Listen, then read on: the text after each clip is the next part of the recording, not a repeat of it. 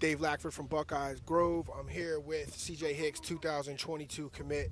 Um, CJ, who you working on right now, trying to get on boat with you? Sam McCullum and Sean Murphy. All right, now I saw you over there talking to Sean. You were talking about edits or something. What kind of edits you talking about? Because me and him both got the invite to the um, All American game, so me and him both committed to it.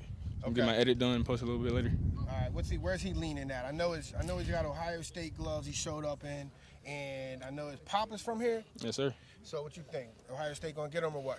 I mean, that's why I'm pushing him to come. Cause like you know, from Ohio, he's from Ohio, so me and him have like a little bond about that. We play the game all the time. So he's So- from here, Yeah, but he lives in Virginia now. yes, sir.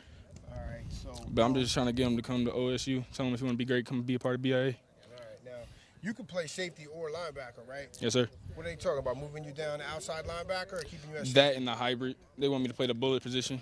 the bully? Tell, tell me about that.